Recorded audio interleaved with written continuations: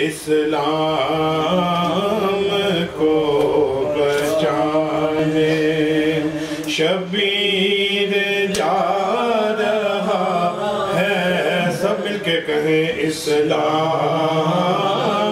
کو بچانے جس کے لیے رسول کے سجدوں کو دور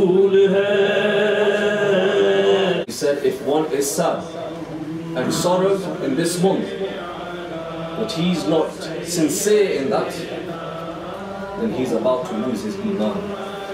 They are those whose mawadda in the Quran, which is mansus alayh, is wajib upon every single person. He says, when this soil turns to blood, know that my son has been martyred. Allah, I am pleased with your destiny. You tell me, are you pleased with me?